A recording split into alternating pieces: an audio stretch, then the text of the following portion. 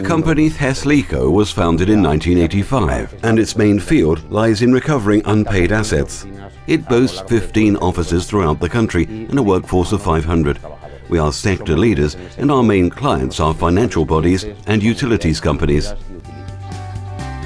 Entre nuestros principales Among our core services are comprehensive document management from the first few days of non-payment of debt up to the legal claim stage, a la fase de reclamación judicial. La gestión de bienes, muebles o inmuebles, asset management, back office services and ad hoc solutions based on client requirements.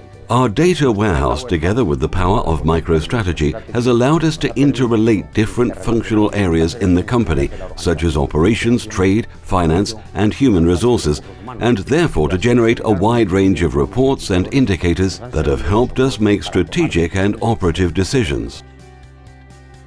MicroStrategy has proved to be a continuous learning tool that has enabled us to acquire a deep knowledge of the organization. Before MicroStrategy, we had a great challenge ahead of us to merge 20 companies into a single entity, and in doing so, reorganize and unify all the database information under the same criterion. Hence, the final choice was for MicroStrategy.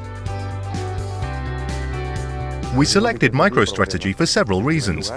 Firstly, it integrates perfectly with our management applications.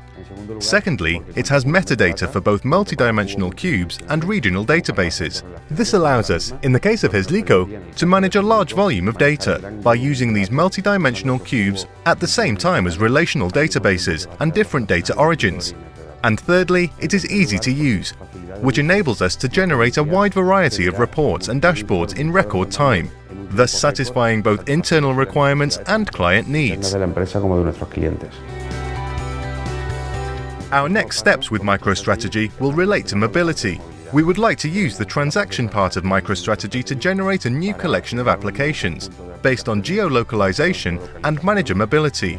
We are also integrating our CRM with MicroStrategy Mobile so that our business directors are able to access all the information in real time, both when visiting clients as well as in commercial planning.